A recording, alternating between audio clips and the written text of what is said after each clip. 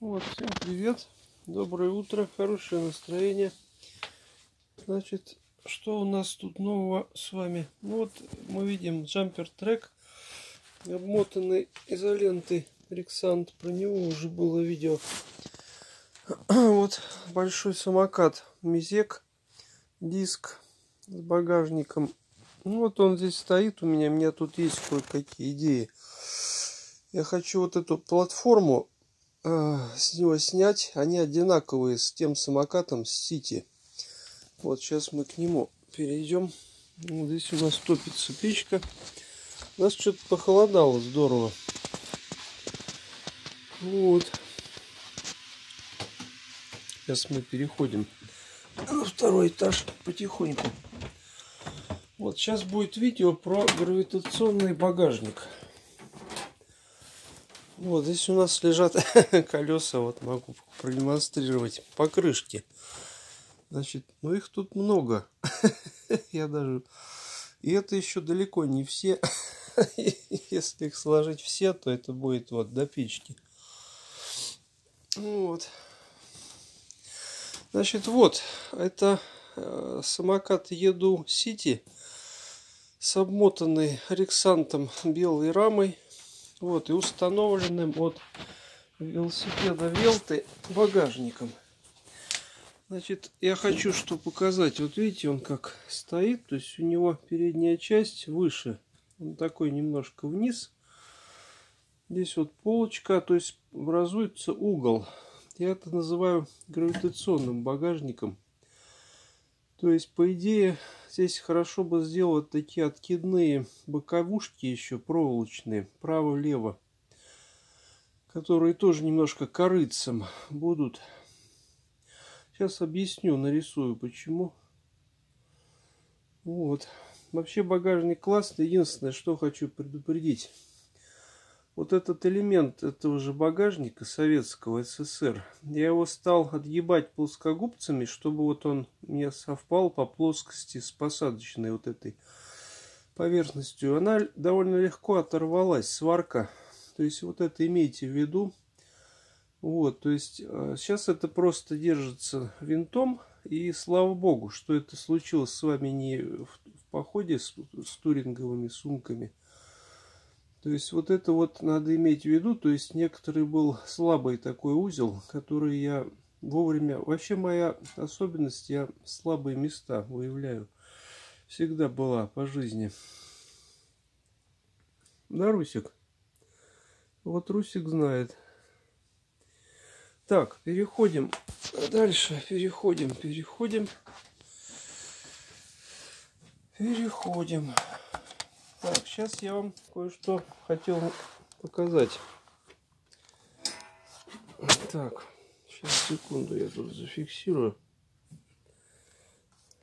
Вот.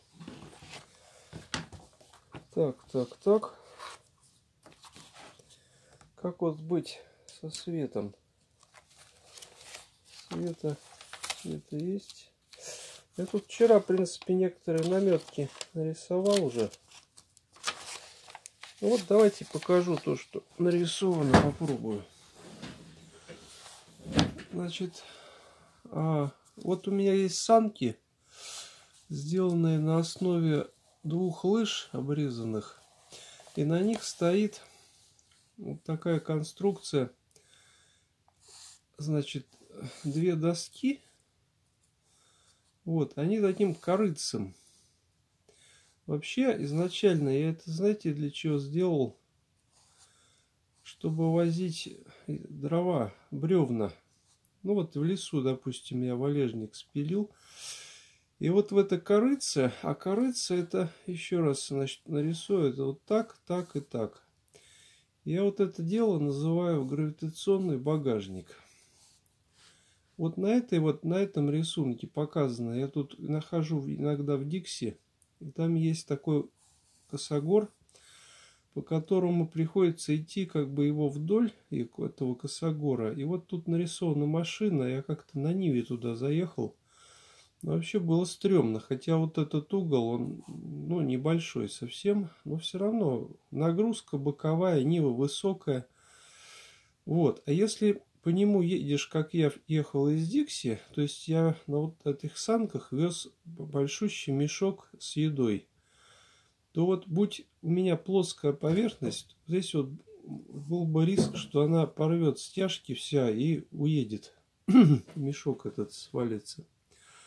Вот в этом случае гравитационного багажника это, в принципе, э, могло бы быть решаемой проблемой. Значит, дальше вот переходим к рисунку номер какой, я не знаю, присвоить номер 3, допустим. Вот это, знаете что, это багажник велосипеда Стрида, который вот изначально спроектирован как гравитационный, то есть у него нет прижимной проволочки. А я вот по себе помню, я положил бутылку пятилитровую туда в нее, как корыца, и поехал. А, вот, вспомнил важную вещь. Значит, мне могут возразить, что есть вот эти сетки. Знаете, вот на, наперед, спереди а, ставятся такие корзинки а, перфорированные.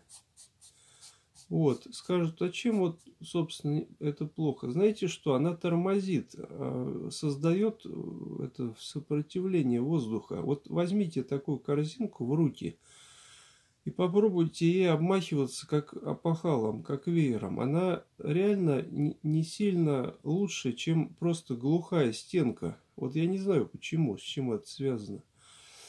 Вот такой, прекрати скакать там. Видишь, у меня дело какое важное. Конечно, значит, а, вот в таком наклонном багажнике, как вот я вам показал на самокате, тот минус, что сумки – на нем э, труднее повесить. Они будут вот, ну, из-за того, что под углом вот эта поверхность. Я предлагал, э, предлагаю вот такой вариант турингового багажника, у которого горизонтальная полка под э, крепеж сумок и какой-то небольшой угол, в который ну, кладутся вещи и там лежат. То есть вот развитие вот этой темы мне очень понравился у стриды багажник. То есть ты туда кладешь и за счет веса вот эти стяжки, веревки. Ну, на туринговом багажнике стриды тоже есть эти стяжки. Но, знаете, они, во-первых, их не всегда, их надо куда-то девать, их надо на шею. Ну, конечно, багажник, который расположен спереди, там легче контролируются вещи. А вот то, что сзади, если оно просто лежит, оно может быть унесено, унесенное ветром, просто уронить где-то на кочках. Вот, но мне сама идея вот это очень нравится, гравитационного багажника. В принципе, напоследок, что скажу, значит, у меня есть совершенно безумная идея. Знаете, вот гироскоп, а, понятие гироскопа и в принципе, если сделать тележку, тележку, допустим, у вас есть цель привести вот большой бак с водой стоя. Вот у меня такой есть бак на 60 литров, у которого не герметичная крышка. Вот, вот как это сделать? Я предлагаю помещать его в качалку. То есть ниже центра, выше центра тяжести, вот центра тяжести, да, ЦТ. Ой, где я рисую-то? Никто не скажет. Что молчите? Кошка, ты что молчишь? Значит, вот бочка на тележке и центр тяжести. Выше центра тяжести расположена качалка. И она позволяет э, этой бочке значит, находиться вот в таком вот вертикальном положении. Это же справедливо и для вот таких вот раскачиваний. То есть, если мы едем с такой бочкой по косогору, ну, конечно, ты омахнул, не, надо не, не сильно такое было. Допустим, вот такой косогор. Вот, он, вот она, тележка едет. Вот, а бочка сохраняет положение горизонтальное. Если сделать качалку, как гироскоп. Вот, все, что я хотел сказать. Не буду морочить голову, но такая идея на будущее интересная. Все, всем хорошего настроения. Не падаем духом, держимся. Скоро весна. Осталось несколько дней. Девять. Все, всем спасибо.